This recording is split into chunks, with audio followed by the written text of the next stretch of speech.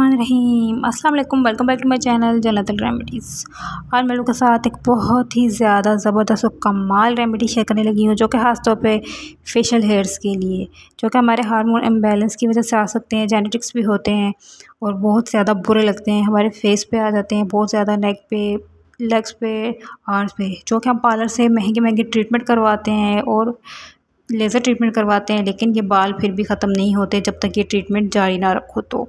तो आज मैं आप लोगों के साथ एक ऐसी रेमेडी शेयर करने लगी हूँ जो कि आप एक बार यूज़ करोगे तो आपके फेशियल हेयर्स की ग्रोथ भी बहुत ज़्यादा कम हो जाएगी और आपके मुसलसल यूज़ से आपके बाल बिल्कुल ख़त्म हो जाएँगे और आपके बॉडी भी ब्लैक नहीं होगी। बाल भी ख़त्म हो जाएँगे और जिसम भी ब्लैक नहीं होगा, बहुत ही कमाल और ज़बरदस्त किस्म की रेमेडी है। तो चलिए जी, रेमेडी शुरू करते हैं। सबसे पहले जो मेरा इन्ग्रीडियंट है रेमेडी का वो मैं यहाँ पर ले रही हूँ नमक। सफ़ेद नमक। आपने भी यहाँ वन टेबल स्पून या जितनी भी आप ज़्यादा बना रहे हैं तो ज़्यादा क्वांटिटी रख सकते हैं।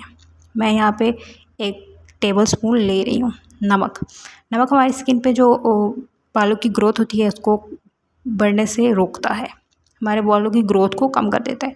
तो दूसरा इन्ग्रीडियंट मेरा वो यहाँ पर ले रही हूँ वेजलिन वेजलिन हमारी स्किन को मॉइस्चराइज रखती है, बिल्कुल भी ड्राई आउट नहीं होने देती। इन दोनों चीज़ों को आपने अच्छे से मिक्स कर लेना है।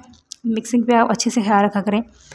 और जो तीसरा मेरा इंग्रेडिएंट है, जो कि हमारी स्किन को लाइटन अप भी करेगा, बिल्कुल ब्लैक नहीं होने देगा और बालों को उखाड़ने में भी मदद देगा। वो यहाँ पे मैं ले रही हूँ लीमू।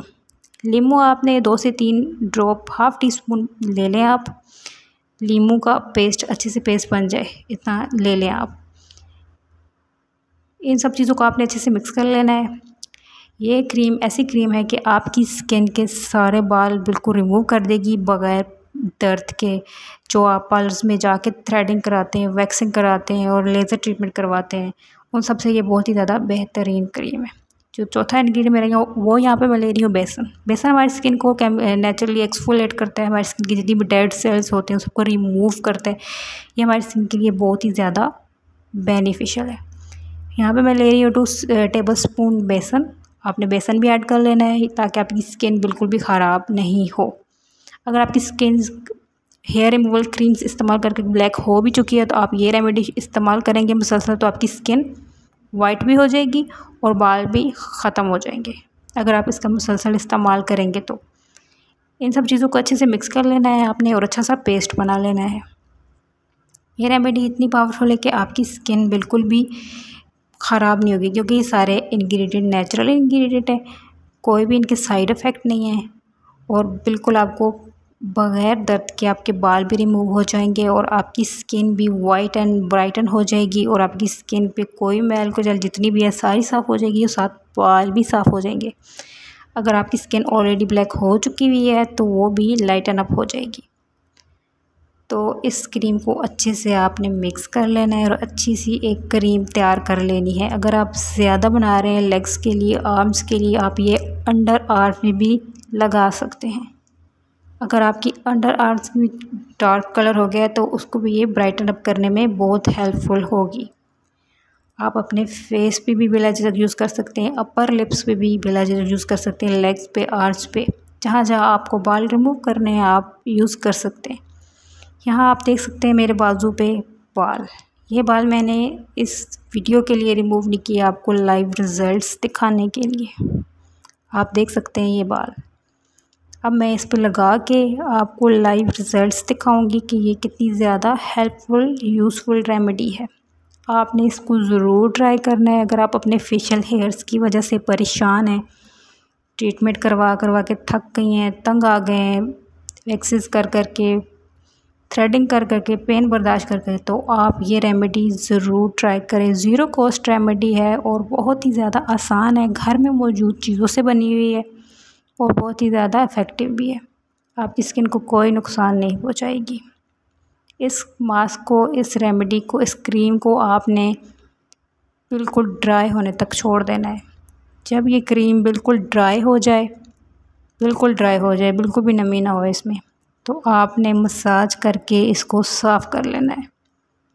जब आप हल्के से मसाज कीजिएगा, बिल्कुल भी रगड़ना नहीं है। फेस पे तो आपने बिल्कुल भी नहीं रगड़ना।